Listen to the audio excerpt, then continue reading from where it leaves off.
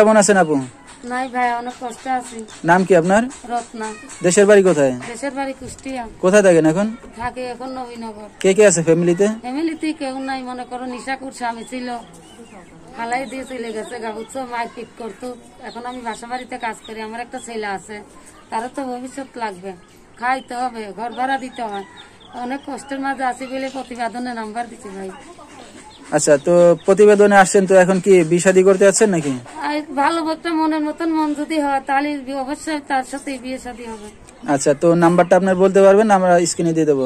না আমি তো বলতে পারব আচ্ছা তো দর্শক রত্নার নাম্বারটা স্ক্রিনে দেবো। সরাসরি যোগাযোগ করতে পারবেন রত্নার সাথে।